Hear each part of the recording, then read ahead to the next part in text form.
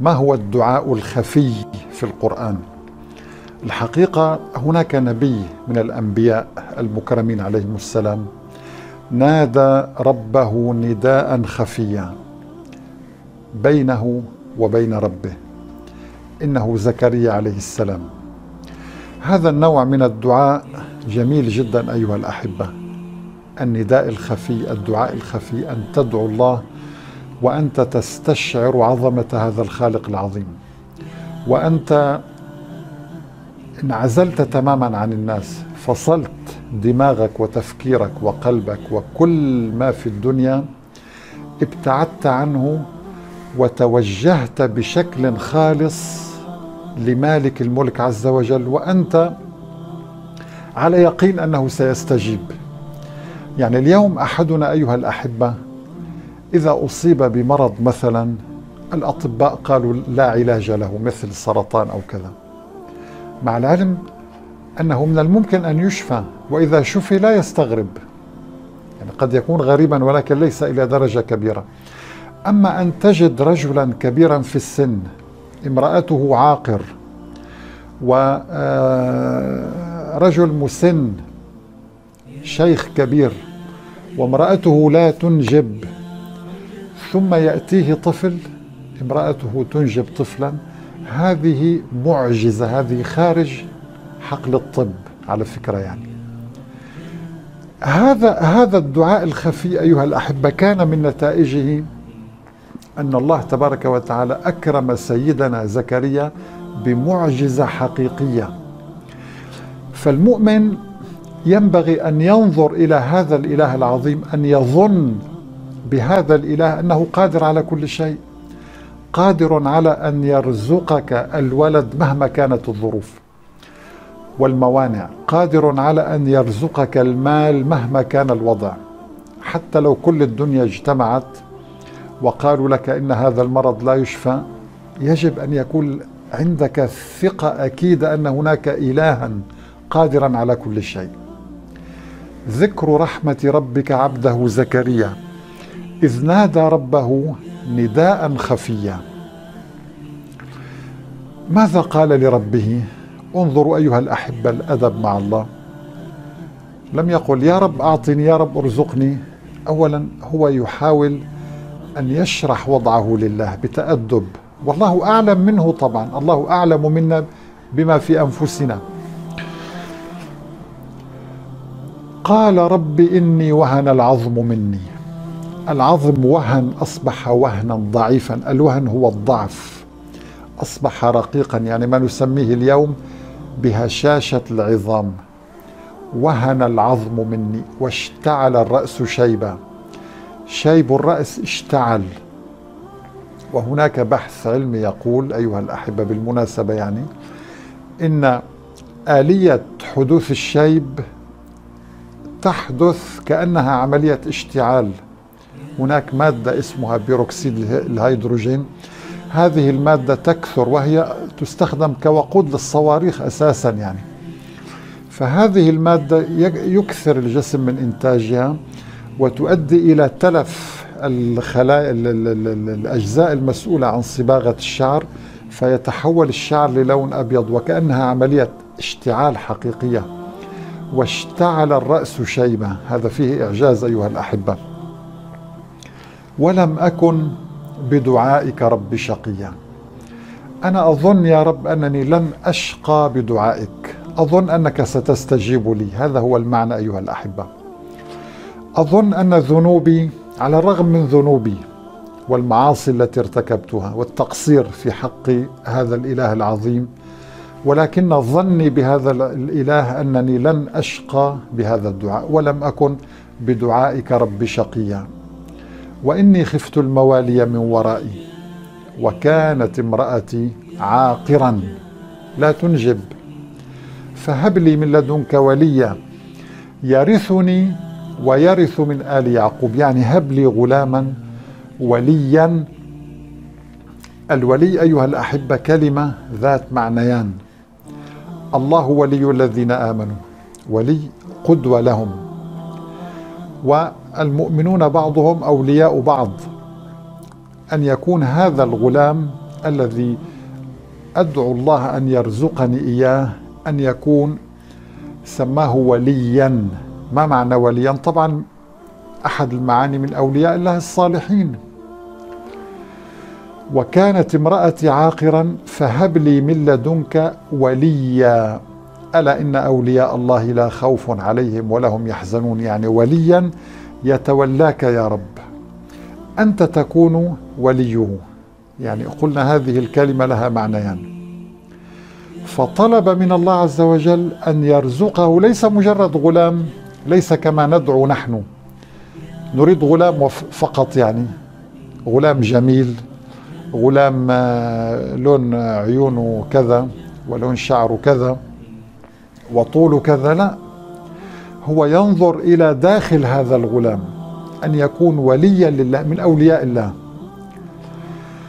وكانت امرأتي عاقرا فهب لي من لدنك وليا يرثني ويرث من آل يعقوب واجعله ربي رضيا.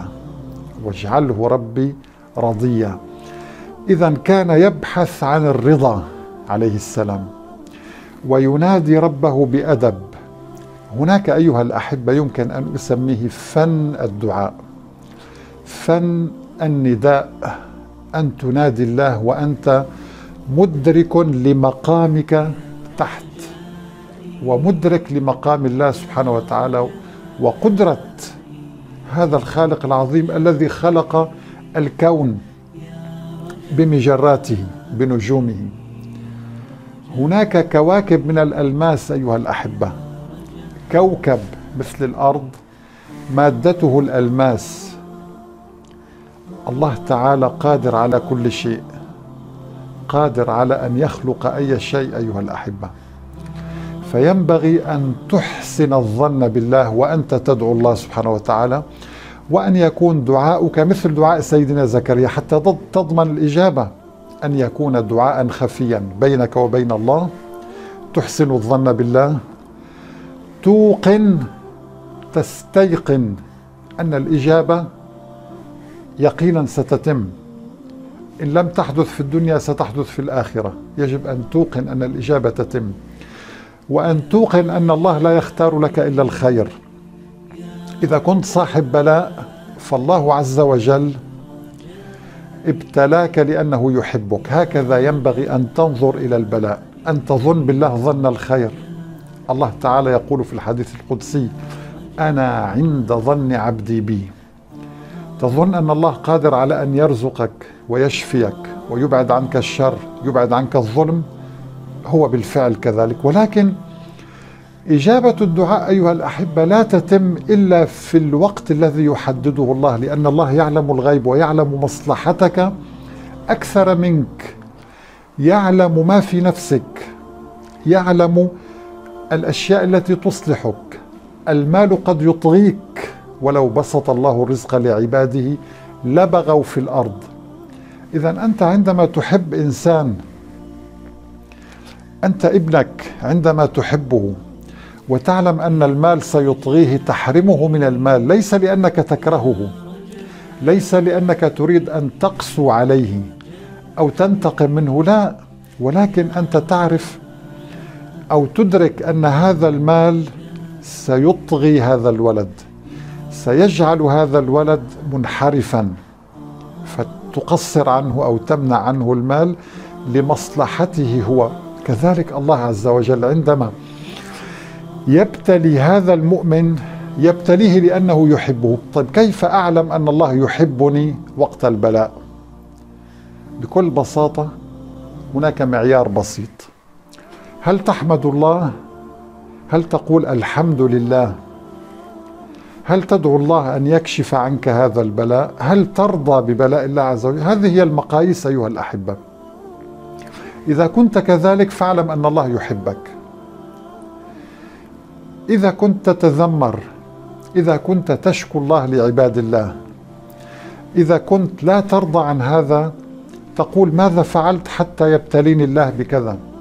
ماذا فعلت حتى يصيبني الله بمرض أو خسارة أو كذا؟ ما ذنبي حتى يبتليني الله مثلا بفقدان ابن أو كذا؟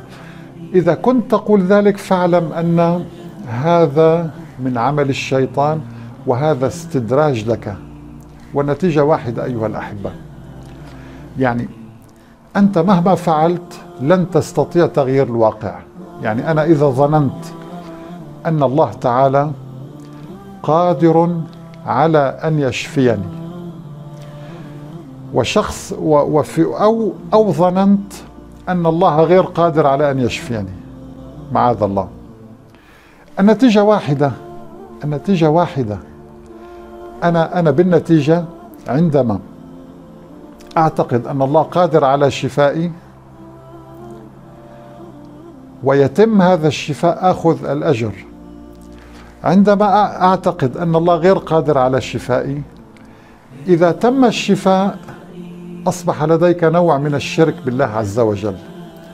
وإذا لم يحدث الشفاء فأنت لم تستطع تغيير الواقع. إذا كنت تعتقد أن الله قادر على شفائك فتم الشفاء فتقول الحمد لله وتأخذ الأجر. إذا لم تشفى أيضا تقول الحمد لله وتأخذ الأجر لأنك تعتقد أن هذا بلاء سيصيبك. أما أن تغير ما كتبه الله عليك لا تستطيع لا تستطيع أن تغير الواقع الذي كتبه الله عليك. الواقع الذي فرضه الله وكتبه عليك لن يتغير الذي يتغير هو نيتك تجاه الله. ظنك بالله. إذا كان ظنك خيرا ستجد الخير. كان ظنك شرا ستجد الشر. نسأل الله سبحانه وتعالى أن ينفعنا وإياكم بهذه المعلومات وأنصح كل أخ مؤمن له حاجة عند الله أن يدعو ربه دعاء خفيا بينه وبين الله. اترك الناس اترك ال ال ال لا تعتمد على أحد اجعل توكلك وإجعل لسان حالك يقول حسبي الله. حسبي الله ونعم الوكيل. نسأل الله سبحانه وتعالى أن يلهمنا. الصواب دائما والسلام عليكم ورحمة الله تعالى وبركاته.